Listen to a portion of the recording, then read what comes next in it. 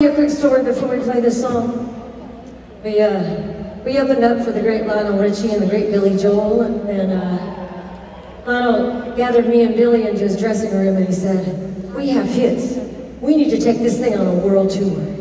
We could play hits all night long." And he turned around and he says, "Sheryl, you know when you play new music?" I said, "No, I don't." He said, "Never. They don't want to hear new music." And so, ladies and gentlemen, I'm going to play you a new song. Um, this song is called Cross Creek Road. It's about my moving to Nashville.